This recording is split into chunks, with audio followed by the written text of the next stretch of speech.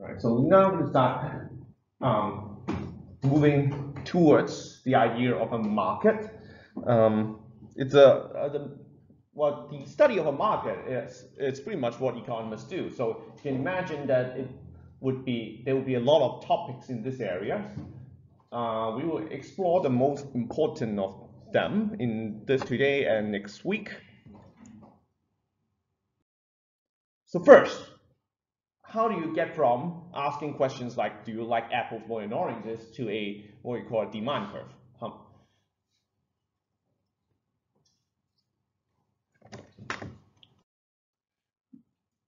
So what we did, um, so what we have in the previous, uh, in the first part is that we have utility, we have preference, and prefer and we assign numbers to the uh, to objects that tells us, well, do you like this more than that? Higher numbers means better, and that's and we use a function, utility function, to represent that. And imagine we do the same calculations as we did in the first part, where you you keep asking people, you keep asking people, do you want to buy this at this price? Do you want to buy that at that price? You can now theoretically you can do it with every price level and every quantity, right? It's just going to take you a lot of time, but theoretically you can do it. Practically, obviously, you're not going to try to ask every single question. You're going to try to extrapolate. But in theory, you could ask people, how, what do you want at every single price level for every single quantity? It just, it just takes time. And when you do that, you have points. You have you give that the the answer gives you sort of a relationship between how much the individual would buy at a certain price. You just have to ask them, well, what do you want to buy at a particular price? So you ask for different prices, and they tell you different quantities, and these come from the utility. That these come from the utility function. Right? You have all these relationships between price and quantity. What we call is that um, we what we call the we call this quantity demand. That's what people want at that price. That doesn't mean that they can buy it, since if you ask people, um, how many iPhones do you want if iPhones are like $50 each? Well, I will give you a bunch, but obviously no one is ever going to be able to buy that, right? Because iPhones don't cost way more than $50. But that's what people want, so that's called quantity demand. And if you have a lot of points, you you start seeing a, a, a relationship between price and quantity. And we call that a demand curve. Demand curve is this combination of relationships between price and quantity demand. And we usually draw it as a line. So technically, it doesn't have to be a line, but we uh, there, it seems reasonable to say at one price, you would tell me that's a particular quantity you want to buy. So it's going to be a line. So in the real world, what do you do? In our this uh, hypothetical exercise, we have this utility function. You can just calculate the utility values and figure out what the what the points are. In reality, obviously, you don't know what happening what's happening in people's minds. So that's not how you do it in reality. Instead, you would have to estimate demand from data. So how do you get data? One way is to actually sell a copy of the item in concern, right? You could get data, or you could just look at historical records, right? See what what how, how much the products go for. To these days, data are easy to come by.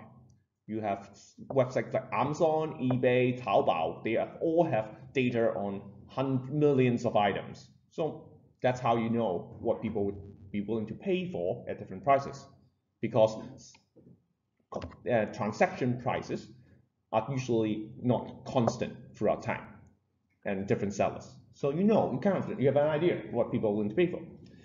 Now this is impractical for some items because not what if you have a new product? What if you, what if you are trying to sell in a new place? What do you do? Um, in these cases, you usually uh, consult purchase records of items, similar items. And for example, there are companies that provide that. Besides, um, so besides these newcomers like Amazon and um, Taobao, you have some you have marketing research companies like Nielsen. So Nielsen is one of the largest marketing research firm in the world, and they have this they have this um, service called HomeScan. What they what this does is that Nielsen have house have have households and fam, uh, has households that are in their they are under their pay, and those households record what they purchase. In Hong Kong, I believe Nielsen has something like 1,500 families. And these families have a, like, they, they have, uh, Nielsen give them a barcode scanner and a little book that they can record whatever they purchase. They get paid, so in return. This record is what Nielsen used to provide marketing research uh, to clients.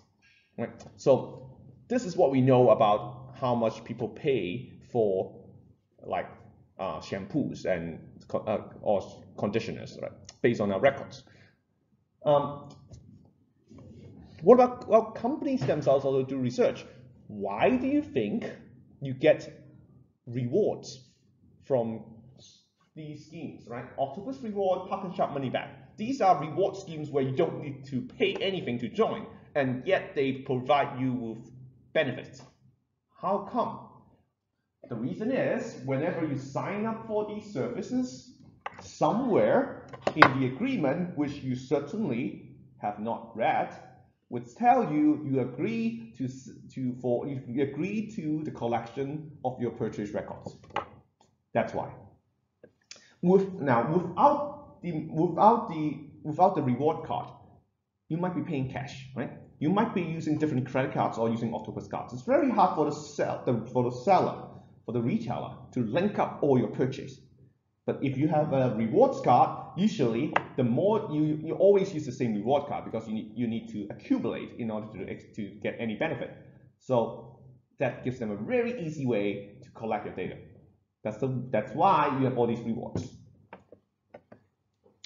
It turns out the same reason is, as we will talk about probably next week, is the same reason is, is the, the collection of data.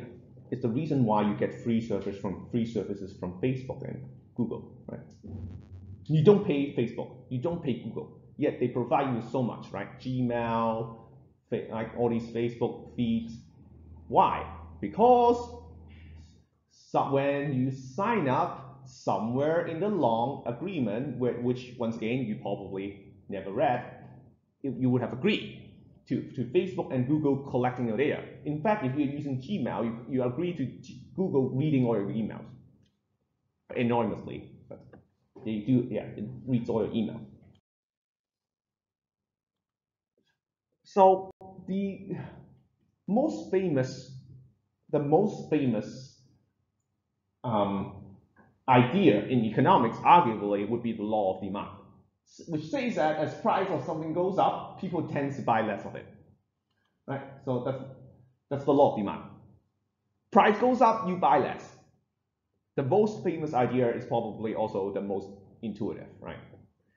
But then, once you mention this law, people will start coming up with violations. For example, uh, we don't have a cost textbook, so. But a cost textbook, like for something similar to what we talked about, would typically sell for like a five, $350 in Hong Kong, but something like over a thousand Hong Kong dollars. A typical textbook in US would cost you hundreds of US dollars. Like, but in Hong Kong, it costs hundreds of Hong Kong dollars. Yet students in the United States are way more likely to buy textbooks than students in Hong Kong. Like when I when I taught in United when I taught in the United States, almost every student would have a textbook. In Hong Kong, yeah, you can't even, you can't force students to buy textbooks. They would complain a lot. So expensive, right? Now, is that a violation of law of demand? Like, textbooks are more expensive in the United States, but then somehow people are people are willing to buy it, whereas in Hong Kong they don't.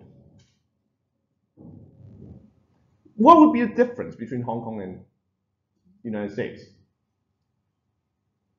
In, at least in terms of a university education. How much do you pay to study here? as a local student? 40,000 Hong Kong dollars a year. How much does it, does it cost to study in the United States? 40,000 US dollars, right? So think about it. The cost of a textbook is a tiny fraction. It's a tiny fraction of your of the price of education. It's like nothing compared to your tuition. Textbook is the textbook might cost you 200 US dollars, but your tuition is 400. Now, this is if your tuition is 40,000 US dollars a year, right? So that's not 200 is nothing in comparison. But in Hong Kong, it's 40,000 Hong Kong dollars.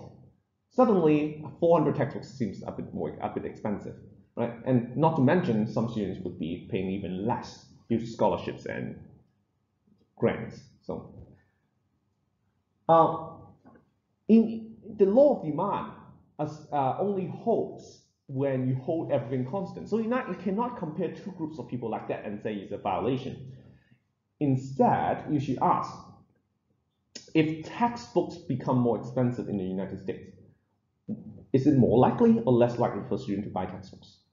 I think, I think it's fair to say, if textbooks become more expensive in the United States, students would be less likely to buy textbooks. So that's not that's exactly what law of demand is saying. Now, given that this given the scenario is the same, if price goes up, what would people do? They would buy less.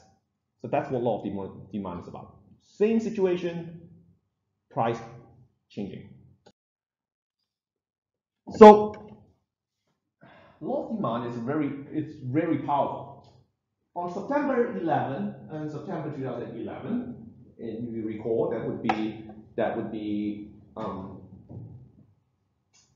uh, so that's after the uh, that's after the that's a few years after the financial crisis, and it's the worst has the worst is basically is starting to this worst has started to pass. And so the Switzerland Central Bank announced a minimum exchange rate of 1.2 Swiss franc to 1 euro. So it's a minimum exchange rate. It's a minimum. It's a minimum exchange rate. They're saying that um, you cannot. They would basically they we would guarantee that we, we give you 1.2 Swiss franc for if you give us one euro. Why? Uh, so what does that represent? This policy amounts to a 9.2 percent um, depreciation in the Swiss franc. So Swiss franc became 9.2 percent cheaper compared to euro in just one night. Why was Switzerland doing that? Now let's look at the exchange rate of Swiss franc to euro uh, around the event. So this is the um, this is the amount of Swiss franc you can get per euro. What what was happening is that from August 31st up to uh, the up to the date of the policy, which is the 5th, which is the fifth, right? What is happening is actually there's a very long trend of Swiss franc appreciating. Uh, Swiss franc is considered sort of a safe harbor currency. Whenever there is some sort of financial trouble, people want to buy Swiss franc. They just feel that it's safe, right? So Swiss franc has been appreciating, and Switzerland doesn't want that to happen. Why doesn't? Why won't you want your currency to become more and more expensive?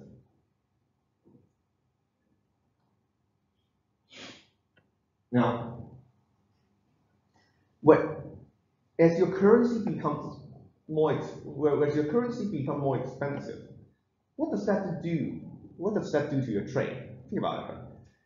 The more expensive your currency is, that means the more expensive your products are. Right? So that means that so uh, appreciating currency would negatively impact exports. So the, this policy is aimed to to stop the hike of the curve of Swiss franc. And it is very effective at the moment of the implementation because you can see once you have this policy in place, the curve, the, the, curve, the Swiss franc becomes a lot cheaper. Right? From a national perspective, if you imagine Switzerland as a, as a store, as a retail store, right? That's the same as saying we're going to have a we're going to have an indefinite 10% off for every product in the country, right? That's something that would be very attractive to people. Now you would start buying their products again because it's cheaper, because it's 10% cheaper. So countries, whenever countries engage in this type of policy where they some one way or the other try to lower, try to lower the currency, usually that's for export reasons. And now most countries like to have like their currency to be relatively stable. No one likes their currency to be fluctuating a lot. Keeping your currency cheap, it's relatively easy because your country controls how much currency you print. Right? If you want if you want your currency to be cheap, just keep printing your currency and give it to whoever wants it. So that's relatively feasible. That's relatively easy to do. Right? It's much harder if it's the Iraq, where your currency is tumbling and you want to keep it up that's difficult because what you need to do is you want to you want you have to reduce the your reduce the amount of your currency circulating, and you can only do that by buying them back with some foreign currency, right? And that would be that's challenging because not every country have a lot of foreign currency in reserve. So that's why defending a currency against depreciation is very difficult. Whereas trying to prevent a currency from appreciating Quite easy, if you're willing to do it. So, so the Switzerland central bank is doing that to so to, to preserve its country's export. And Switzerland is certainly not the first country that tries to do that. There are some countries that try to actively de depreciate their currency, even though it's not really going up that much. Like Japan, right?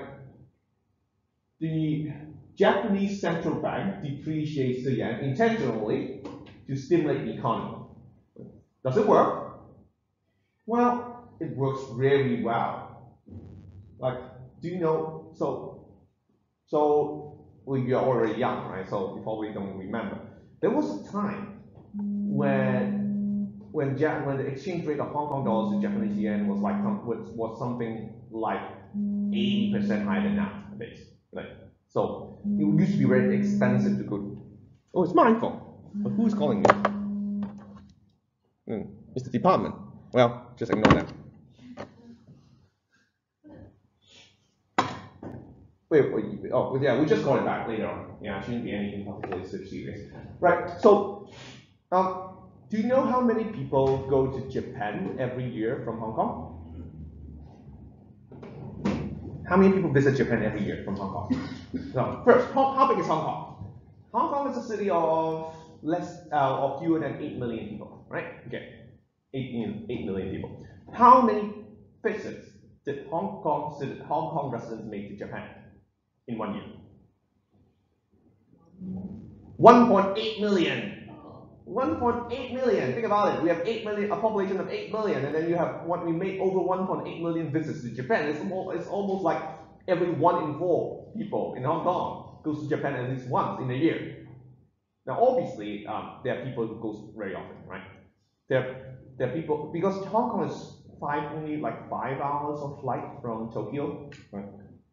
So from Japan, so you could literally go in the weekend if you want. So but it's a lot of people going to Japan, and if you ask anyone, it's like things are, everyone feels like things in Japan so cheap. And that is because currency is depreciating. And so this is done by printing yen. Now, in modern economy, you don't actually need to print physical money. Even though we like to use the word print, you don't actually print physical money. All it takes is kind of a, like basically you type, you type numbers in computer. Um, what you, every country has a central bank, and central and every bank in a country would every commercial bank in the country would have accounts with central banks, with, uh, with their central bank.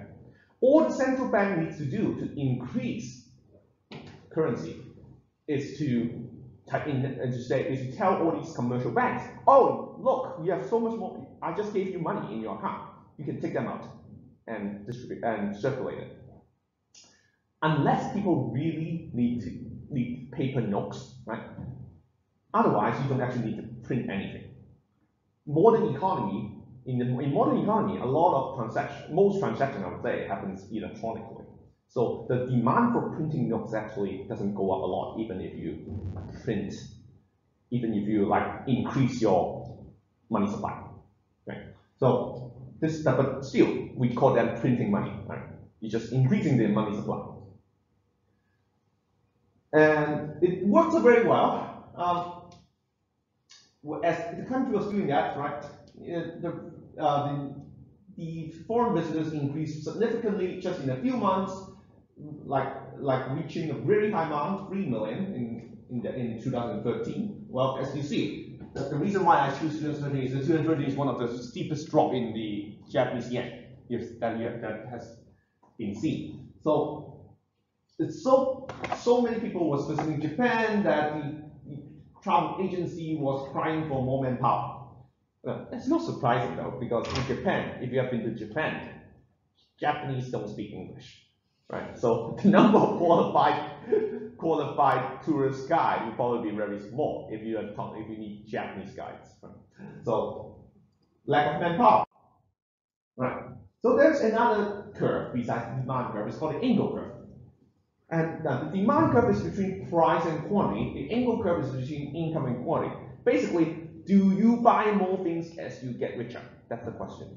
Do you buy more things as you get richer? Yes or no? I think if I if I say everything in total, probably. But if I ask you, do you buy a specific item more, more often as you get richer?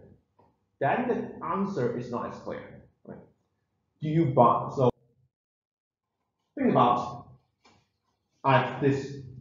Uh, so let's say let's say this is your so we have we talk we, we consider income of a person and how much French cuisine he eats and how much McDonald's he eats. For someone who is poor, you don't eat French cuisine. Any, anyone actually tried French cuisine in Hong Kong, right? In Hong Kong, not in France, but in Hong Kong. Well, French cuisine is rare in Hong Kong. Typically, you have to go to like a five-star hotel to have French cuisine. It costs you like three thousand dollars for a meal, and the dishes are tiny. Right? That's the that's the, that's the signature of French cuisine. It seems like very big plates, very small portions. Right? That's the idea. So you don't eat French cuisine and you're poor. You eat McDonald's, right? And the, as you get more money, you might eat more McDonald's right? because you have more money to spend. But when you start getting really rich, then you might start to be, you start to develop a taste for French cuisine, and you start having French cuisine. And if you're really, really rich, then you just eat French cuisine and not McDonald's very often. Um, unless you're Donald Trump. It turns uh, it was uh, so it was reported that Donald Trump only only eat McDonald's like eat, only eat burgers like from McDonald's because he was afraid that he would be poisoned right? So he doesn't trust his cooks in one McDonald's, right? But most of us would not have that worry. We are not the leader of the free world. So as we get richer, we switch to more expensive food. So what you have here is that one type of food you consume more as you get richer. The other type of food you consume less as you get richer. So unlike the relationship between price and quantity, the relationship between income and quantity depends on what type of goods you're talking about. Some, basically, you can imagine some of the more desirable things you consume more as you get richer, but some of the less desirable things you consume less. And we have name for that. Uh, so, so, so we have French cuisine and McDonald's, which have completely different relationship between income and quantity. Once again, uh, we obviously controlling every, everything else constant. So in this particular case, we are assuming the price to be, we are assuming the price to be same. So let's just say McDonald's hasn't raised the price, but you get richer. Then, then, then you probably still buy less McDonald's. And if the price of French cuisine stays the same, but you get richer, then you eat more French cuisine. But if you get richer, yet French cuisine also get more expensive, then probably won't eat more French cuisine. Right? So it's all about relative. If you're richer relative to the price, then you consume more. But if it's the same, then it doesn't make any difference. Right. So things that you buy more as you get richer, we call a normal good, like car. Do, do any one of you buy a car as a student? Not in Hong Kong. If you're in the United States, then yeah, maybe, right? But not in Hong Kong. Owning a car in Hong Kong is very expensive, as we'll talk about later on. But um, car ownership has been going up significantly in Hong Kong because Hong Kong is a very rich place. Mm, like, if you are like the the salary of a high school teacher in Hong Kong is higher than the high salary of a high school teacher in the United States. But for in for uh, many areas of in many areas that you consider, Hong Kong would be cheaper than the United States, except one obviously the US. Many things would be cheaper. So being a, a lot of occupations, especially professional occupations in Hong Kong, pay very well. So people are very rich, so they want, and as you get rich, you want to buy a car. That's just something that people want. So if you earn three thousand, if you earn three thousand dollars a month, you can probably afford a car. What if you earn three hundred thousand dollars a month? Well, I'm not sure how many people who earn three hundred thousand dollars a month and don't have a car. So you probably have even you probably you could probably afford more than one car even, right? Uh, but in that case, small car like that, you probably drive like a Porsche or like a Ferrari, right? If you think about it, like you rock around Hong Kong, there's, there's actually a lot, there's very high number of expensive cars. Like you have almost all these sports cars in Hong Kong, like driving slowly because of the traffic lights. Right? This little pointer, the in Hong Kong, the fastest you can go legally on the street is 110 kilometers an hour on the way to the airport. That's the fastest you can go. These cars can go over 300 kilometers per hour. We're not even even half its potential. Right? But that's Hong Kong. Right? So, but these are things that you buy more as you get richer. And we just we have a name. We call them normal goods. Things that you buy less as you get richer is called inferior. Like low quality food and clothing, counterfeit items, uh, yeah, I think this is certainly the case. Like, obviously, I don't buy handbags, right? But my like my sister, like when she was in when when she was in school, she would go, she would buy all these handbags look alike from Taobao, right? right?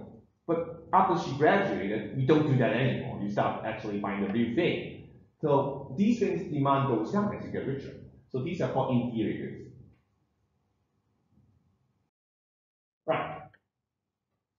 uh, demand and supply. So I think we just so the point of the reason why demand and supply comes to dominate economics discussion is that it's simple. Um, I basically whenever you talk to someone who has studied economics, and when you ask them to explain something that happens in the market, right? Something that has relate has relationship to tradings. What they have in mind probably a demand and supply diagram. Whenever you have a government, when you are, whenever you ask them the impact of a government policy that has to do with a market, they would have demand and supply in mind. They would not have utility in mind. They would not have mathematical functions in mind. What they have is diagram, demand and supply. So it's an intuitive way to give us to tell us how market works and the effects of various events and policies. It's very easy to use, very intuitive. Uh, it's much better than the alternative, like for example, the two-person, two-good model we used last week in like rancher and farmer. It's very hard to generalize to more people and more goods, and it doesn't have, and it doesn't really have, it doesn't have really have a price. It doesn't have money involved. So Demand supply diagram instead focus on one market at a time. It's like, okay, what happens to the market of iPhones? What happens to the market of um, clothing? What happens in the, all those cases? And a market is four components. What is a market? Well, market means there's something being traded, right? There's something good. It could be a good or it could be a service. Something being traded. There must be buyers. Someone's buying sellers, right? You think about I am I am paying you to buy your iPhone. I am the buyer, you are the seller. I'm paying you something, so money. I'm, I'm paying you a price to get your pro get, your iPhone. That's the good, right? So I pay you to buy something. For buyers, we have the demand curve. We just talked about demand curve. Basically, what what people want to buy. We're going to assume that we can come up with something similar for the seller. How much do you, how many units do you want to sell? Right? That's called the supply. So what do you want to sell? Uh, we're not going to go into details on how you actually um, calculate, find the supply curve now. Uh, instead, let's just think about if I ask you this question, how would you, what answer would you give? Right, think about, let's say, tutoring children, right? How many hours would you be, how many of you are willing to work to, to, to tutor primary school children one hour a week? Just one hour, $100. Some of you will, some of you would, right? But if I asked you to do for 50 hours, then you're probably not going to do that. Not for this price, since it's going to take up all your time. You're not, right? So you're not probably not going to do that. So typically, we say that when the more you ask from people, the more they want in return. Which is why doctors and lawyers get paid so much. Right? If your doctors have to be on call, right? You have to you all, you have all you are if you are if, if the uh, all say and same for like bankers, like investment bankers. Why would they be why do they get paid so much? Because you literally sell your life to the company doing those when you work when you are with the company. Doctors have to stay on have to be on call. I like investment bankers and lawyers in, involved in commercial operations. You often have to answer clients' inquiries, inquiries at night, right? So why would anyone be willing to sacrifice leisure time and sleep for work? Well, the only reason is it pays so well. So it pays really well.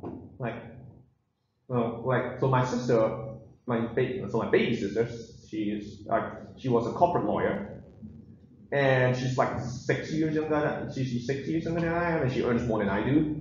Like, yeah, as a corporate lawyer, earns so much money. But you don't have. But the thing is, despite how much money she earns, she doesn't have time to spend it. That's the typical dilemma as a doctor or a lawyer, right? You have so much money, but what do you, you don't have time. So what do you do? Well, it's pretty, actually pretty easy for ladies. The thing is, where do all those um, investment banks and law, law firms have their offices?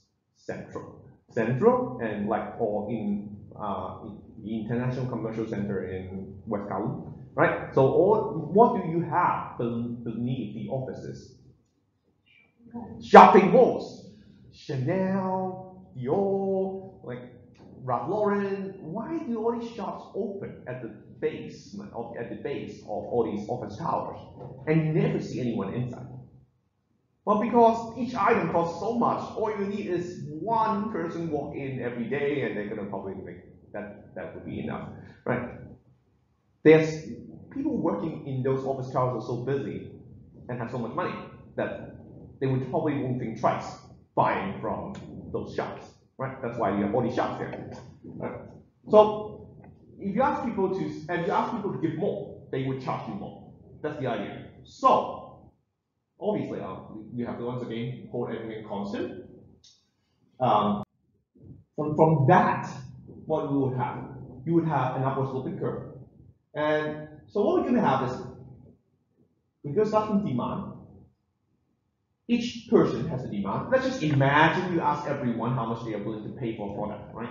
You ask everyone how much they are willing to pay for a product, and you have a demand for every one of them. The market demand is simply the sum of individual demand. So you just, okay, $3, how much do you want? Nothing. $3, how much do you want? Nothing. Oh, that's nothing, no demand. $2, how much do you want? Four units. $2, how much does he want? Three units. Total, seven units. That's the idea of market demand. It's just the sum of individual demand. Just keep asking everyone how much they want.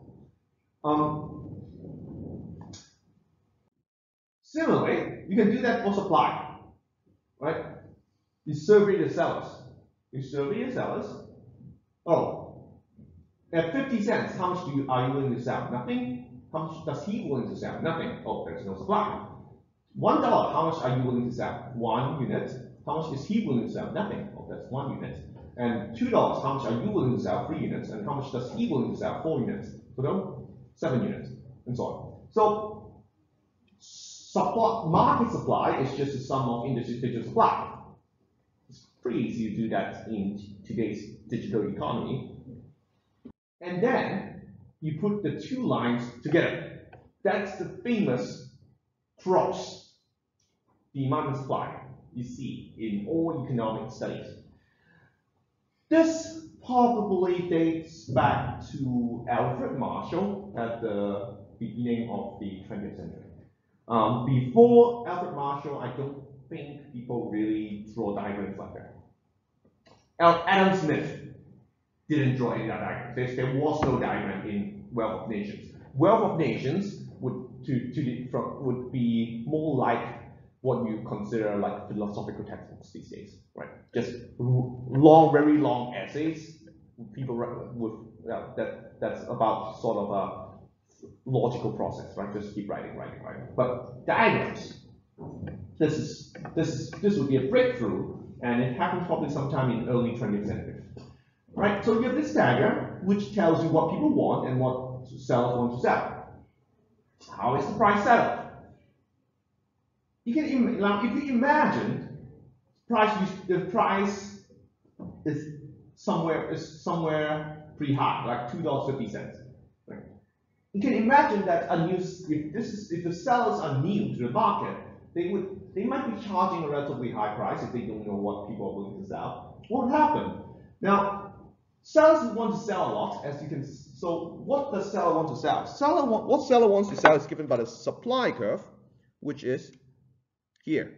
Oops. This is what the seller wants to sell. But that's higher than what the buyers want to buy, which is here. Whenever you have something like that happens, what hap well, what would happen? Typically, what you have you're going to have is a sell, right? When would, so products that get sold out never go on sale, right? The, when does iPhones ever go on sale? iPhones never go on sale, right? It doesn't need to go on sale. It's, but products that no one wants go on sale. So what would happen is if a seller realized that it's that no one's buying this product, then it will lower its price, go on sale. So we say that we'll say that there's a surplus in this market. So too much. When things there are too much, when there are too much product and no one wants to buy, things get cheaper. So prices go down. What if price is too low?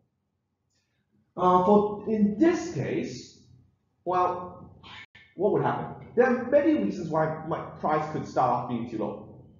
Now, one is sometimes government limit price, right? In Hong Kong, uh, Hong Kong actually is a pretty free economy, but there are exa there are examples that you could imagine, like uh, some in, like uh, say um, taxi is regulated in Hong Kong. So sometimes taxi, some like uh, you might find no taxi because too many people want to ride taxi. But Hong Kong is not a very good example because Hong Kong doesn't really control it, has doesn't have many much uh, many price control. Uh, but there are rent control in many countries, right? So in other cases, in other cases, there are cases where demand simply exceeds what the seller can produce. Like Apple, then Apple could easily charge a much higher price during its launch of iPhones, right? Yet, even at ten, uh, even at ten thousand dollars, ten thousand dollars, plenty of people want the iPhone X.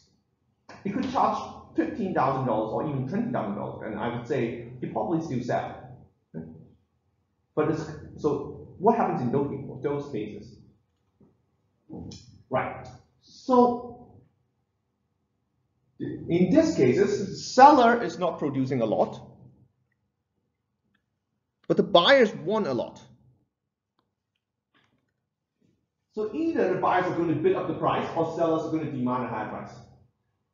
So in most cases, at least for non uh, for small sellers, they typically raise price for their products. In, there are some special cases that sellers choose not to do so, like Apple. Despite the predictable high demand for iPhones, Apple's, Apple typically do not raise, well, Apple never raises price for that reason. Apple won't raise its price simply because so many, because so simply because many people want this iPhone during launch. It doesn't do that. Right? What happens in that case? Does that mean that everyone gets to buy an iPhone at the original retail price? Um, anyone actually engage in iPhone arbitrage in Hong Kong? Right? It's pretty. It's a. It's something that students do in Hong Kong sometimes. Right? Sell iPhone, like buy iPhones and then resell them. So in Hong Kong, if you officially buy from Apple, obviously you pay the retail price. But, if, but there are also authorized resellers in Hong Kong, like uh, Fortress, Broadway, and sometimes what they would do is at launch, when iPhones are in shortage, they would require you to buy something else in addition to an iPhone, sometimes accessories. You are, will be required to buy accessories at a very high markup price in order to get an iPhone. That's one way for them to increase their profit. Another example is actually I brought some. It's once again related to Bitcoin, cryptocurrency. So this, I just brought this from my office.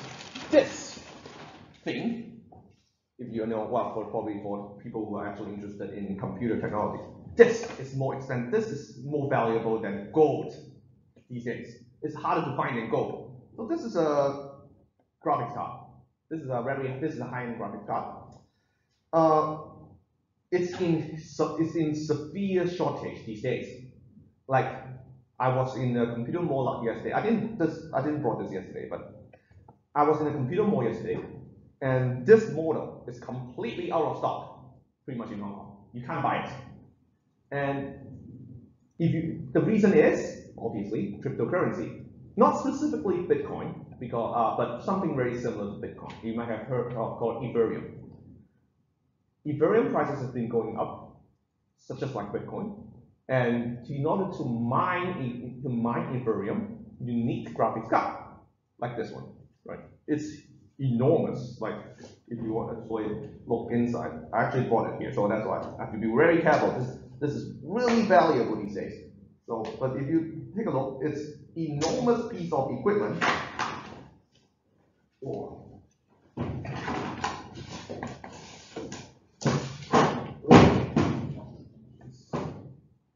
Well, these things are supposed for gaming. At least are supposed for playing video games, but no one buy them for, well, a lot of people buy, buying them not for video games. It's, it's, so, it's an enormous piece of equipment, right? It's Enormous piece of equipment. You put it in your, com desktop computer, and then you run a program, and that's all it takes to start mining Ethereum. Program. So you just need this thing in your computer, then you run a program. Right? Run, that's how you mine things. Now, this thing, as here, there's a fan here, right? Why does it a fan? It's a fan because this thing gets very hot. It takes a lot of power. Um, if you have a few of these things in your room, you don't need a heater. It's very hot, right? So, so um, you run these, you, so you run, so you run these things, and so I think the reason why, is, besides the price, is that it's winter, right? So it's relatively cheap to run these things at winter since you don't need air con turn on air conditioning, right? So because of the high price, um, there's no there's it's exhaust a lot of supply. Um, not just in Hong Kong. I think the reason why supplies is so in such a shortage in Hong Kong is that I think mainland Chinese are buy, also buying these cars from Hong Kong to bring back to China for their uh, for mining operations. So what happened? Oh, so so mining is the well, mining is the name of the process of gaining cryptocurrency through processing transaction. The way cryptocurrency works is it's all digital, right? There's no central bank, there's no bank involved. So when I want to trade with you, we need the record to be verified and kept in uh, and kept in a, in a place, right? So I want to trade you. Someone has to verify this trade. How do you do that? Well, the process is done through some very complicated math. So, and you need a third party willing to do the complicated math to verify this trade. Why would anyone be willing to do complicated math? There must be some reward. So all cryptocurrencies are designed to reward the, the person, the computer, that, that processed the trade with some new coins, from, with some new cryptocurrency. So when I trade with some, let's say if I trade with her, and you process our, when, and you process our transaction, you would be rewarded with some newly generated cryptocurrency. And that's your, that's your reward for being willing to be the processor, the, the one to process the transaction. This process is called mining. This is mining. What you're doing is actually processing transactions. Right? Now, because you because because the reward is so lucrative these days due to the high price of Bitcoin and similar cryptocurrencies, you actually have a lot of people competing to process transactions. That's the idea. The reason the, the, the, the reason why the, the, the, the whole system is designed to operate this way, to attract people to process the payment through giving people newly newly created cryptocurrency as reward. Uh, that's all how that's how it works. The, because, but it's because it involves calculating very complicated math. You need very powerful computer chips to do that. Um, your computer generally have a CPU, central processing unit. That's not very that's not very um, suitable for processing cryptocurrency transactions. Um, graphics processor like this one, which is designed for video games, they are much better. They're much better in processing and doing those math. So what you typically do these days, if you are one person, like a student in the dormitory, you probably buy one, a few of, one or two of these and plug into your gaming computer. When you're playing games, you play games. You don't play games like during when you're in class. You run the computer to mine cryptocurrency. If you are in commercial operations, then you could have dozens or hundreds of these cards running at the same time, right? Commercial operations typically don't operate in Hong Kong because think about. Four of these would, would be would be the equivalent of a space heater. If you have thousands, it would be a burning, it would be like a burning furnace. So you don't run these in Hong Kong. You shouldn't be running somewhere actually a lot cooler throughout the year. So something somewhere up north. China and second, these things take a lot of electricity. So where's the best? So you need cheap electricity in order to be profitable. You don't really want to run it at home because electricity is going to be expensive. Where do you want to run it? Somewhere electricity cheap, is cheap. Where, where would electricity be cheap? Dormitories.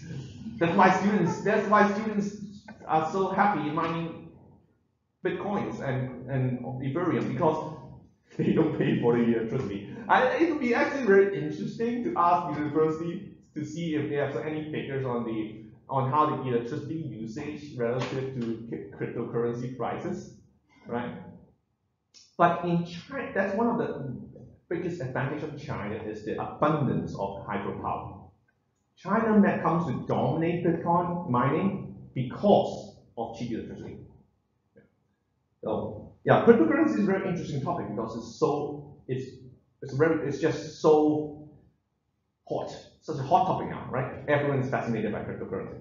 So yeah, going to talk more about this you know, in the future. Yeah, but this is valuable. These these things actually now typically technology like um, technology, any tech products usually price goes down in time, right? iPhone like new every new generation of iPhone becomes more expect becomes becomes more powerful than the last generation, but it costs the same sometimes even cheaper in the case of um, iPad. You could go cheaper. Right? Computers barely cost more than 10 or 20 years ago. Actually, computers cost less than 10 or 20 years ago, but they are way more powerful. That's normal. But these things has been getting more expensive due to the short, due to the shortage. Well, it's bad. So it's a good time. It's good time if you are some if, if, if you are someone who like building computers to make money. It's a bad time if you just want to play video games because it's very hard to get come get these things come by. Right. So that's so shortage. So we should say the market has a shortage. What happens? So uh, pay more basically. The month pay more. Price has been going up because of shortage. Right, so when price reaches $2, the quantity buyer wants to buy and the quantity sellers want to sell is equal. So this is what we call a market equilibrium. Right, that's the famous cross intersection. And the price is the equilibrium price and the quantity is the equilibrium quantity. And what does it mean? Market equilibrium is a situation where the uh, quantity demand equals quantity supply and that's graphically that's the intersection. But what does it mean? In, now it means that various forces are in balance. No one has pressure to change. At this price, if you're willing to sell 10 units, you can sell 10 units on average. If you are willing to buy 5 units, you can buy 5 units on average. It does not mean that everyone gets what they want, because as consumers, I always want lower prices right?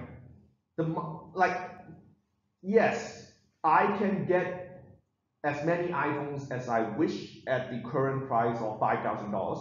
Doesn't mean that I don't want iPhones to cost me two thousand dollars only, right? As a consumer, I always want products to be cheaper. Similarly, as a seller, yes, Apple can sell as many iPhones as it wish at the current price, but maybe, well, but you bet Apple would be very happy if it can sell for even more for the same units, right?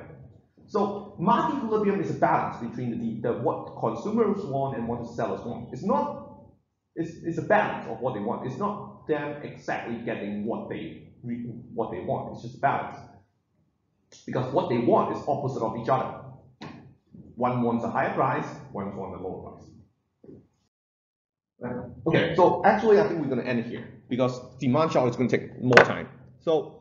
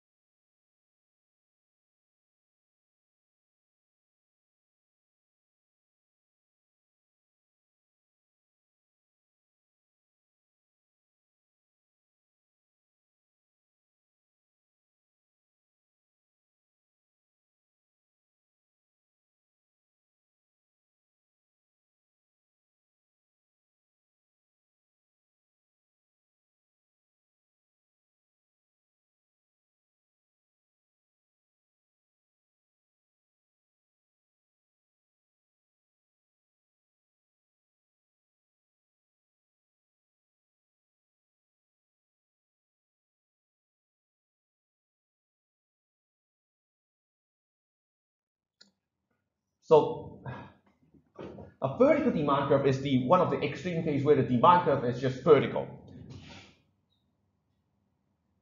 What does what happens in that case? Let's take a look. In with this demand curve, it doesn't matter what the supply, the level of supply is. If it's expensive, if it's if it's expensive, the seller, the buyer is just going to pay more, he always want the same quantity, like perhaps one, right? Something like that. So this buyer always want the same quantity, always wants the same quantity regardless of the price. This now, this cannot literally be true because everyone runs out of money eventually. So I think a more realistic case would be something like this. That it goes up and then it drops to zero when it's too expensive. That's probably more realistic because no one has in infinite amount of wealth. So what would be an example? What would be an example? And I think an example would be something like a CD, right? Or a mu uh, music you purchase from iTunes. Regardless of how, now for one specific, uh, one specific CD, I think regardless of how cheap it gets, it's very rare that you're going to buy two, right? There's no need for two. This is not true for CDs or music in or music or music in general, because when music gets cheaper, you buy more songs. But for one particular song or one particular CD, I think it's quite fair to say that even if it gets very cheap, you're unlikely to buy two. So that's one example of good uh, case where you just need a specific amount and not more. The other extreme is the case when the demand is horizontal, so that the buyers want to buy as many units as possible at a particular price. So you can see that in this case, you can see that in this case, the buyer buys more, the, the buyers buy more when supply is higher. the only the only um, the only thing that that they look at is kind of the price, right? If the price if if the if the price is right, they buy as many units as possible. So price does not change even when there's a supply shock. Can you have any example that's the case? The shop where everything is one dollar or ten dollars? So, um, like a dollar store. Right, like a dollar. so like in a dollar, but you see in a dollar store, do you you don't try to buy up as many units. Let's say I need a lot of files or something, right. a lot of stationery, and everything is the same price. Right. So it's need. So it's something that you need so much that you're willing to buy up as many as available at that price. Yeah. For example, right. like I lose pens every day. Right. So I'll buy like. No, it's true. I lose a lot of pens.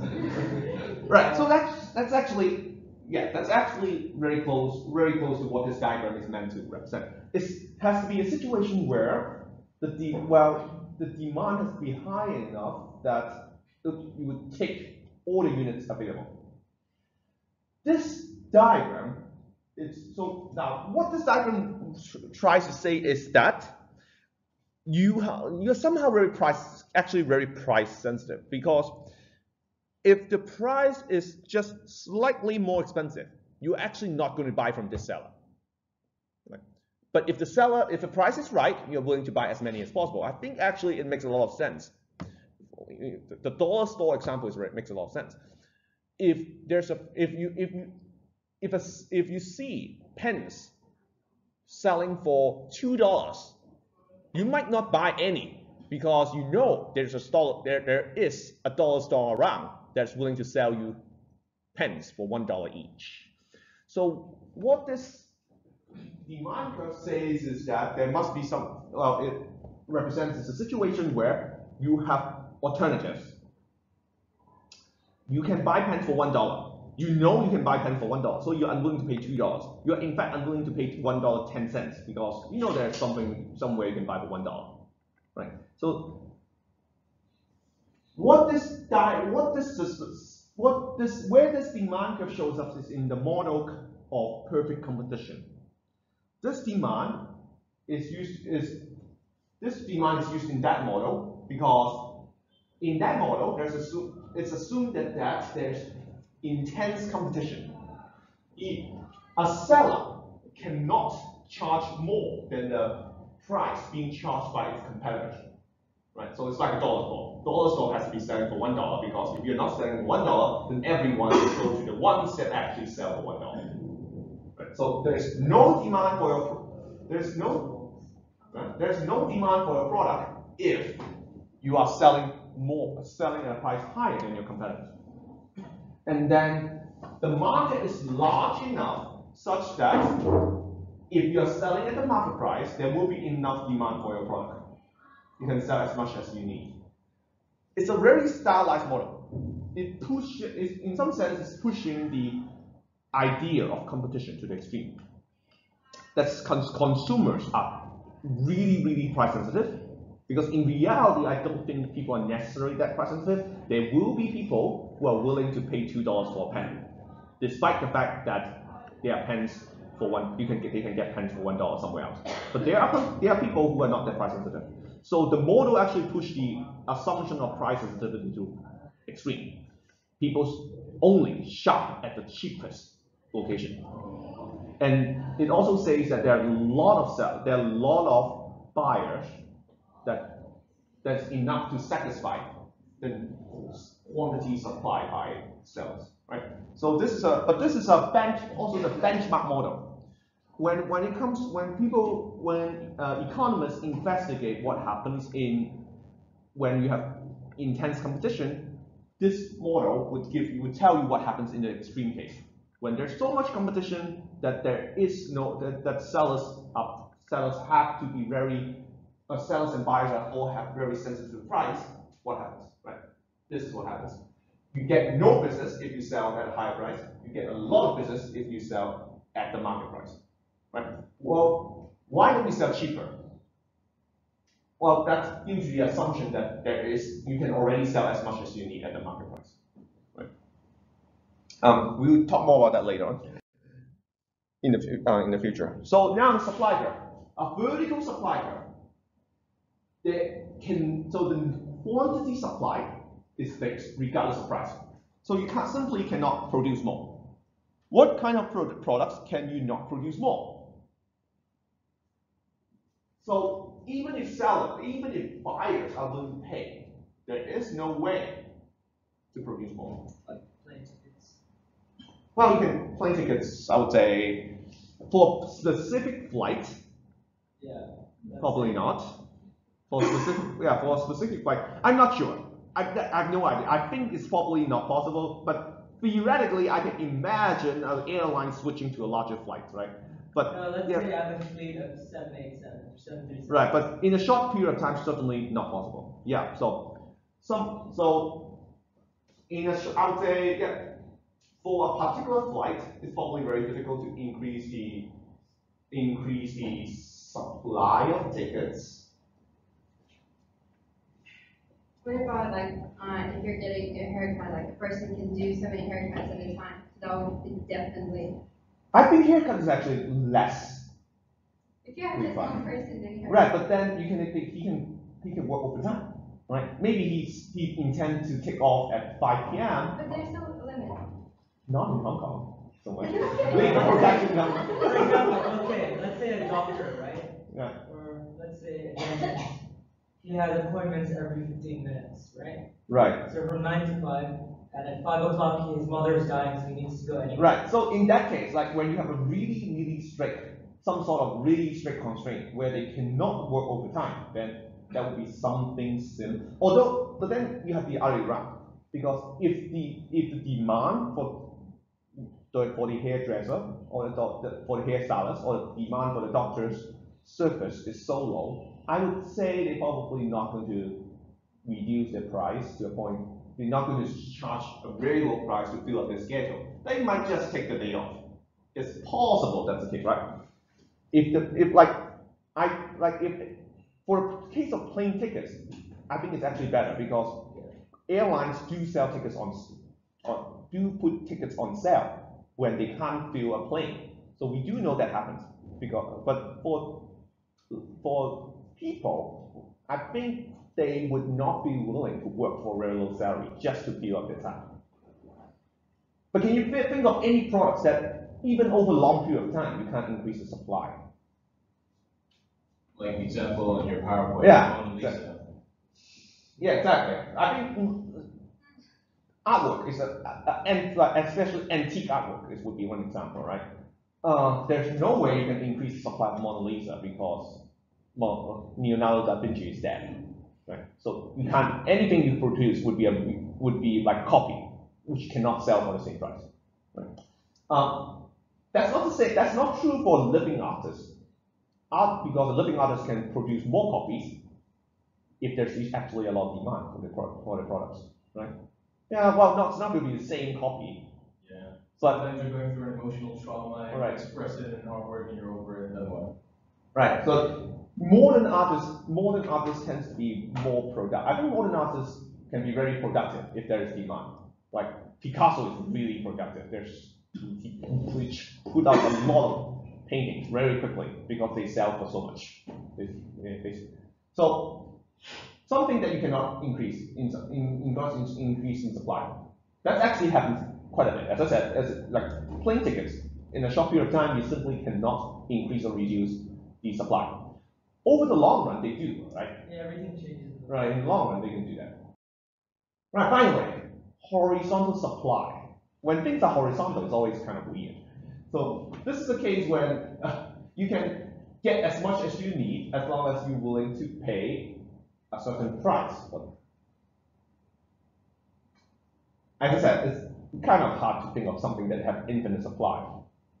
Uh, examples that I can think of would be like air on planet Earth, right? Obviously, oxygen would be in shortage in space, but with I would say with blood? right, I mean, in some countries, they, you can, you can earn money by giving your blood. So, but there's not an infinite supply of blood, right? I mean, there is, right? Every months, let's say disregarding this, every. I mean, yeah, they come back. over time, like if you think about like in your well, but then you talk well, as an adult male can give like can donate blood about three times a year. So well, but then so over many years you could you could give quite a few times. But then I would say even in the most optimistic case, right now it's going to be difficult to give more than 200 times, right, over your lifespan. So. But yeah, I mean, Yeah. there, there is supply, there's fixed price, and. So I would say, yeah, once again, it's sim- I would say it's similar to what we have in the case of a vertical demand. Is that you can say that maybe someone is willing to give donate blood for for a certain value. It could be zero, right? It could be zero. They are willing to supply up to a point uh, at, at which they won't be able to supply anymore, like they die. Right? So it could be something like that. But I think there are examples like these where, like air, you could get as you could get as much air you need, or as long as you stay on planet Earth or seawater. You can get as much seawater as you need in a place like Hong Kong, right? Not for fresh water. Fresh water is going to be in short supply, Desalination. right? So yeah, so that's why salt water is a good choice, right? Because you have enough salt water that you can you can pump it up and desal. Yeah, use desalination. Um, so these are things that might be might you, you might consider having a large enough supply where as long as you're willing to pay a fixed price to process them, then it's in essentially infinite supply. Right, so one thing that you will notice that is that in, in economics, we rarely talk about absolute change. You would realize that, uh, now, the most common measure of change is slope, right? This is something you learn in like secondary school. Like when y increased by three units, uh, y increased by three units when x increased by one unit, and we say the slope is change, the slope of change is three. In economics, we don't use the slope very often for the following reason. Suppose y is iPad sales and x is price of an iPad. If x is measured in dollars and iPad sales goes up by 100 units when the price is lower by one dollar, then the slope is negative 100 because price change is positive one, quantity change is negative 100, so the slope is negative 100. Well, if we use cents as the unit of money, however, the slope is negative 1. Well, there's no reason why you have to use dollar as the measure of, as the unit of measure, right? It's very common to use different units depending on the size of the transaction you're talking about. So you could you could use cents, you could use millions of dollars, right? And the slope would change depending on your unit of measurement. Not to mention what happens if you're using different currency. Right? So we don't in economics we don't really we don't like this issue. Like the use of slope is dependent on the unit of measure, and we don't like that. So what can you do? You can use in economics we typically use percentage change. Right? So y increased by 3% when x increased by 1%, in, this is called elasticity. The percentage change of y over the percentage change of x. Or the percentage change of the result O divided by the percentage change of the cost. This is called elasticity. And so we, in this particular example, the way we, we describe it as the elasticity of y with respect to x is 3. It's unit invariant because one $100 increase to $101 is a 1% change, and so does 10,000 cents to 10,000 and 100 cents. So percentage change solves that problem for us. So economists typically talk in elasticity. And depending on the elasticity of the, of the curve in concern, we have we describe it as either elastic when the when when elasticity is than one. That means the the percentage change in the response is stronger than the percentage change in the cost. If elasticity is more than one, we call it inelastic. So the response is weaker than the cost. The, the change in the response is weaker than the change in the cost. And, and finally, if it's just if the magnitude is the same, then we just call it un, uh, unitary elastic. Um, let's see how much time I have? Have some time.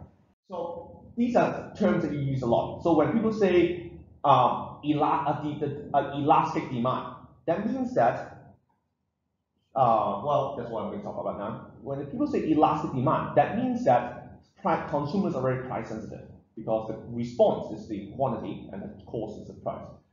So price elasticity of demand is the, is the percentage change in quantity demand when price goes up by 1%. So this should be negative because price goes up, you buy less. The thing is, if you read textbooks, you would very often find that price elasticity of demand is quoted as a positive number. Now that's because economists are lazy. Given the, that the fact that law of demand says price elasticity of demand should always be negative, why bother writing the negative sign? So they just write a number. So you see that in textbooks sometimes that price elasticity of demand is quoted as a positive number even though it's a, it's a negative relationship. Worse still, this is the only place we do that. So when you see a price elasticity of demand of 3, that means that the quantity demand drops by 3% when price goes up by 1%. Right? So when you so when you when you see a price elasticity of demand that is positive, it means a negative relationship. What if you see a price elasticity of demand that is negative? It still implies a negative relationship. So it's just that as I said, economists drop the negative sign. So but some do, some don't. So just interpret it as a negative number always just interpret it as a number always. And this is the only case we do that. In all the other case, negative means a negative relationship, positive means a positive relationship. So, if you link up with a diagram, elastic means more responsive to, more sensitive to price change. So, if you have two curves, pass through the same point, the steeper demand curve has a smaller elasticity because we just said steeper curve means less sensitive to price change. Elastic means sensitive to price change. So steeper means less elastic. a vertical demand curve would have an elasticity of zero because there is no uh, there's no response. Right? Doesn't matter what the price is.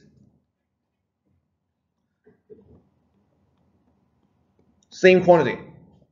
Doesn't matter what the price is. I always buy the same unit. So there is no response. And horizontal demand curve has elasticity of infinite because it's really, really price sensitive. You charge me 10 cents more and I don't buy from you. So that's very high sensitivity. Um, there is also, you can also use elasticity to measure the can measure uh, the relationship between different products.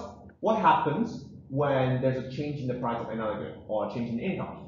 So cross price elasticity of demand is the percentage change in the quantity demand of one good with respect to 1% increase in the price of another good. That's something that you would measure, as I said, when you want to see how close two products are as substitutes. So Coca-Cola Pepsi would have really high cross price elasticity of demand. Price of Coca-Cola goes up, you would expect demand of Pepsi would noticeably go up. So that's substitutes. But if you have case, if you have things that use that you use together, when gas, when the price of gasoline goes up, you see that demand for cars goes down. At least demand for cars that use a lot of gasoline. So those are called complements because they use them together. And one thing that is quite interesting you can see from is that in the, in the case of rice export. So what I want you to notice is the price change in the price change of Thai rice. So take a look at the change of uh, change the quantity of Thai rice.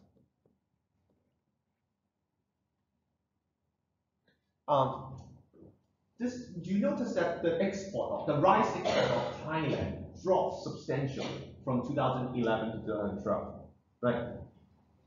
So rice is one of the major export of Thailand and especially to places like Hong Kong, where we really like Thai fragrant rice.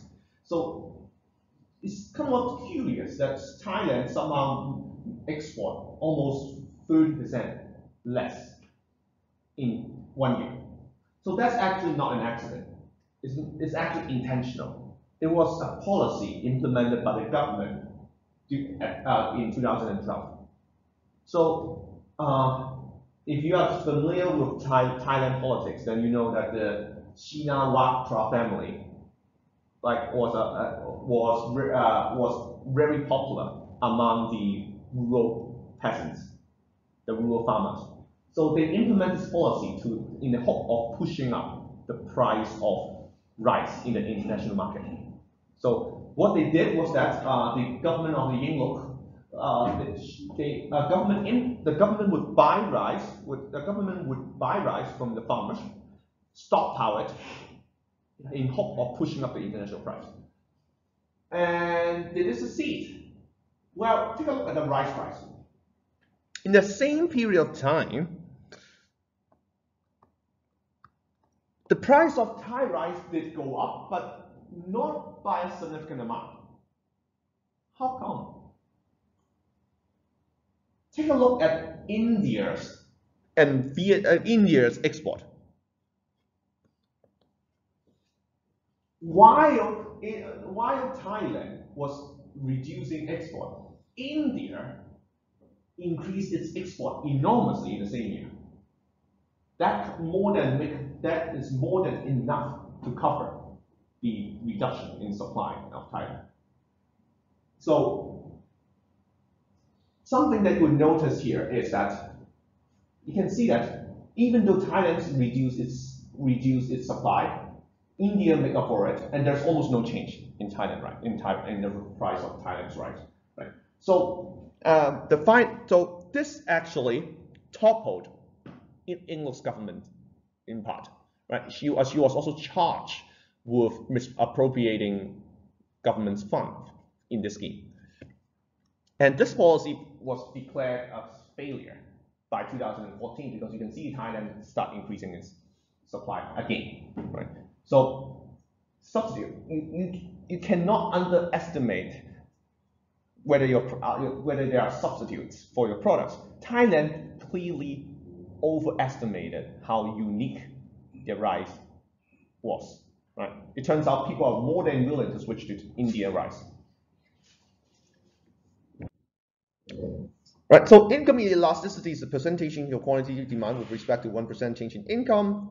So if your income goes up and your demand goes up, that's a positive income elasticity of demand, and that's normal good. And a negative elasticity of demand would in income elasticity of demand would be our case when demand goes down income. That's inferior goods. All right, so these are just quantitative measures that economists would use when they try to characterize the goods. You can measure these from data you have on product records. Right. So you can also further divide goods into cases where people buy proportionately more and proportionately less. So if you get if you get one percent richer, do you buy what do you buy more than one percent or less than one percent of that product? Uh, there are products that you certainly buy more as you get richer, like cars, handbags. So those are usually we call luxuries, things that you only start buying when you get richer. There are other things where you might buy more, but you don't buy proportionally more. Like table salt. Um, my income is a lot. My income is certainly a lot higher than when I first started teaching, but I don't buy more table salt than before because I don't need more table salt than before. You need table salt, but you don't need more as you get richer. So we call those things necessities, things that you do not need more as you get, you do not need a lot more as you get richer. So, so these are just name economists used to describe things. And all right, this is a case that I actually want to talk about. How much smuggling was there from Hong Kong to China? In case you are, you are new to Hong Kong, a lot. So this is a photo taken in the Sheung Shui station, which is the last stop before crossing the border. So what are these people doing? These are smuggled goods. Now, goods that brought in goods that are brought into China legally have to pay a pretty heavy tax. So that and Hong Kong, on the other hand, is a tax-free is a tax-free city. So that gives a, there's a very strong incentive for, for moving goods illegally from Hong Kong to China. And, in, and the thing is, it's not that difficult to move things illegally from Hong Kong to China. These people are taking the subway. They're taking the subway. They take, you can see, they're taking like boxes on the subway to China, and you need to pass through customs in the process. Or you, well, you kind of say, well, this is what, well, this, yeah, this is for my family or something, and then you bring it over if you have been, if, and once you cross the border, literally, once you cross the border and exit custom, there are people stationed outside of the train station waiting to purchase these products from these smugglers. So uh, these people, these people, they can take several trips a day, earning something like a couple, maybe a, like like something like a fifty dollars or hundred dollars each time. Right? So they take multiple trips because there's a while the subways, while MTR, the subway company, does not set, does, does not check for smuggling, they do check your luggage size, which is why you can't take more. They, you can see that they are only taking a certain, about the same size, right? This is the maximum size you can take across with subway. Right, but these are actually small potatoes, right? These are actually these are actually tiny, tiny operations compared to the biggest one in China, the Yuanhua smuggling case. The Yuanhua smuggling case was uh, masterminded by this guy. Anyone know who this guy is? This is called, uh, he's Lai Chun-sing. Uh, he smuggled 53 billion, 53 billion renminbi worth of goods to China. Uh, he is like, he has a really big operation and resulting in 30 billion tax evasion. Um, so he actually uh, he escaped to Canada. He escaped to Canada after the operation was busted, and he stayed in Canada. Uh, the Canadian the Canadian the Canadian government did not uh, did not return him to China initially. Until the Chinese government promised that he would not be executed. Because Canada does not have uh, capital punishment. So Canada was unwilling to return him to China for that reason. But yeah, after Chinese government promised that he will not be executed, then he was returned to China to face trial. But what I want you to notice in this case is that notice the amount of tax evasion. 30 billion tax evasion out of 50 billion, 3 billion of goods smuggled in. That's really high tax rate, right? That's 60% tax rate. So that tells you why there's such a strong incentive to smuggle into China, because China used to have really high tax rate. And it's not a surprise, it's not surprising because for, for a while, it's actually, uh, protectionism was quite in favor. So you, and what, how do you protect the domestic industry? By charging a very high tax on imports. So what's the benefit of smuggling? Avoiding tax, right? So import tax is called tariff. So in, avoiding tax. And what you would expect is the higher the tax rate, the bigger the benefit of smuggling. No one will smuggle for one or two percent tax rate. But 60%, that's a very that's a very big incentive. So naturally, because tax rate is in percentage, so naturally you use elasticity. So when there's 1% increase, so when the tax rate go up by 1%, how much more smuggling do you expect? That's something that we are trying to, that we're going to talk about in a moment. But first, how do you measure smuggling, which by definition is legal? How do you measure something, how do you measure something that is illegal? How do you do that? This actually requires some clever uh, understanding of how tax, how the uh, how import and export works. So now these are what we're going to talk about is systematic smuggling by companies, not by individuals. As a company, what incentive do you face? Now, uh, obviously, this is one form of smuggling, right? This is one form of smuggling.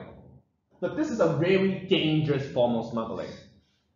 In, uh, fortunately, he's carrying iPhones. He's not carrying Sam, like Samsung Galaxy Notes. Uh, otherwise, he's probably going to be like going to be very dangerous. But this is not something that is scalable, right? This is not scalable.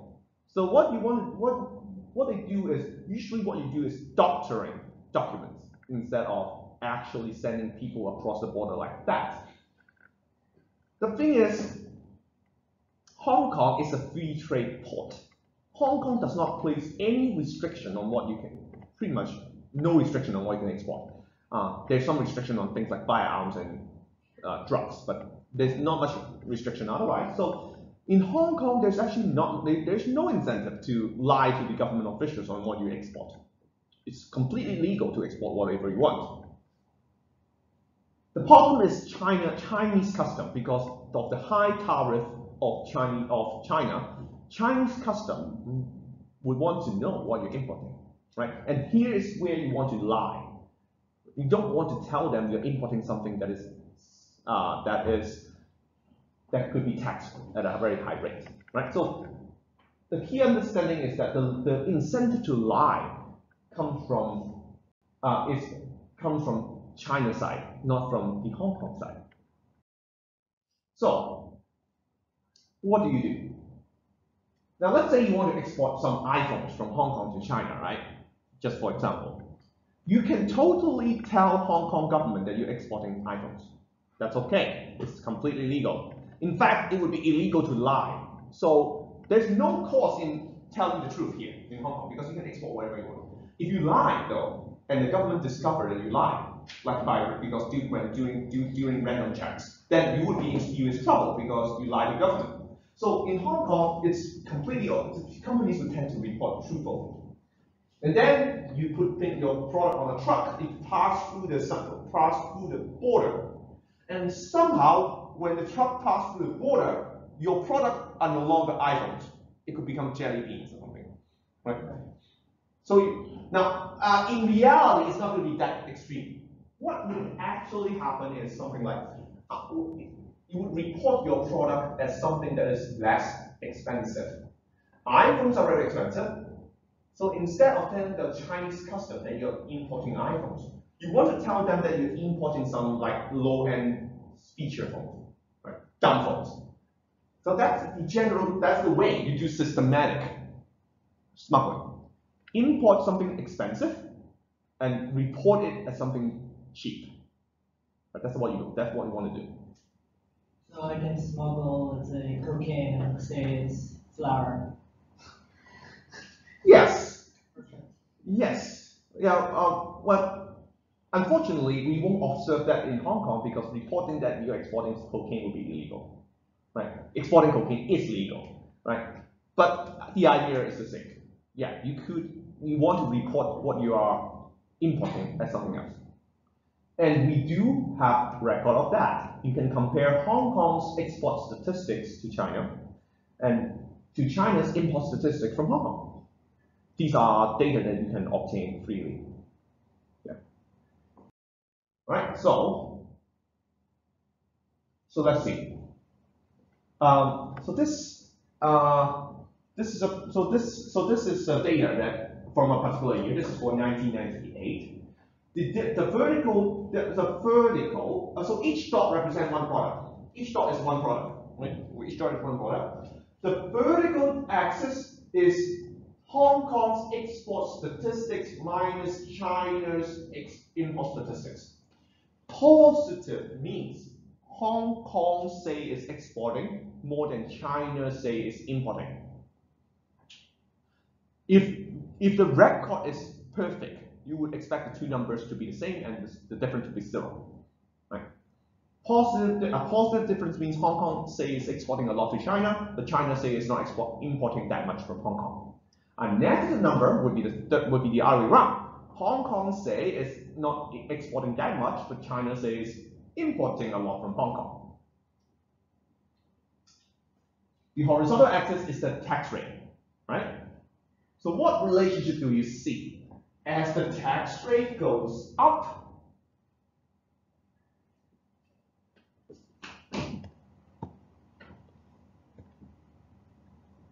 it's quite clear that as, the tax rate goes up, the difference between what Hong Kong say is exporting and what China say is importing gets bigger. It's not going to allow, this is, uh, this is uh, data analysis 101. Data, data is not going to line up nicely on a line. That never happens. But the general trend seems to be quite clear. As, as, the, uh, as the tax rate goes up, the difference is bigger. It's quite it might surprise you, but that China actually charged over 100% tax on some products. See, this is 100% tax. Yeah, China tax, double the tax. Well, that's actually not so surprising if you're in Hong Kong, because Hong Kong, we do that too.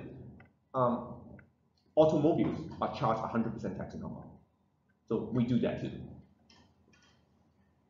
So You have to pay the same price to the government, so you pay for the car and then you have to pay like, Tax on it, yeah. like, as if you were paying for the second car, but you're paying it to the government. So what you do is this. So when you buy a car, you have to register the car with a new car. You have to register with the government. The government is going to charge 100% of the declared value of the vehicle.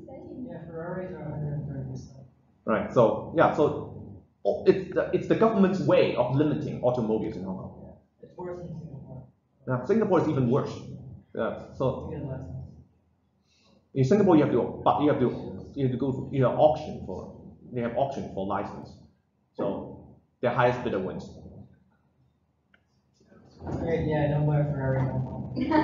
Well, you could. You could, yeah, you could. Well, but the, yeah, so the thing is, it, that, that's, that, that happens. So what happens is tax rate is very high. And one thing you want to, uh, one thing that's very interesting is that not only there is a systematic positive difference at the top, right? There is also a systematic difference that's negative in the bottom. One interpretation is that what happening is that this is evidence that, or th- th- th- this is evidence of misreporting. You are reporting exp- uh, expensive and high tax rate items as cheap and low tax rate items. So if you do that, this is what you expect. Because so somehow China is importing a lot of cheap phones from Hong Kong. But Hong Kong says it's exporting a lot of iPhones to China. That would be, that would be what happened in this case. Right. So the estimated effect is an elasticity of three. That is, for every 1% in tax rate, China would be, there would be a 3% increase in smuggling based on these records. So is it worthwhile? So is it that, well, as a policy, would it be a good idea for China to lower its tariff, lower its tax rate for imports? If, you, if this relationship holds, then it would be beneficial for China to reduce its uh, will reduce its tax rate because you gain 3% in revenue for every 1% drop in tax rate. Right? But clearly, in, uh, the tax, the import tax is not meant to earn money. It's not meant to raise revenue. The import tax is usually in place to protect domestic industry. So this alone is not something that would convince government to reduce tax rate? But then China, the, but then China eventually joined the WTO, and tax rate is no longer that high anymore, but it's still pretty high. So today, even today, you, it's you don't want to bring a brand new iPhone across the border because if you bring a brand new iPhone in package across the border, you will be asked to pay tax when you pass the border. Uh, if you get if you get caught, that is? So that's why um, it's general. And if you try to ship, if you try to mail, if you try to mail an iPhone to someone you know in China, you definitely have to take out the you have to like um, you have to definitely take apart the uh, packaging because you would definitely be taught. Well, you won't. Whoever's the recipient will be asked to pay tax on the iPhone if you if they receive a shipment of an iPhone, right? Which is why you have these people who have all these items around uh, the body, right? Because that's the cheapest way to bring items to China for some for a certain period of time. Right. So, uh, incidentally, uh, this paper, this is a paper that's, that's written uh, by one of the, by the author of one of the books that you can choose from. That's the one, the economic gangsters. So that's it's written by the author. This, so that author, uh, that author studies a lot of uh, the econo well, study economics of these developing countries. So he has a lot of interesting incidents like that in the book too. Right. All right. So so now I think we covered most of the things I want to cover.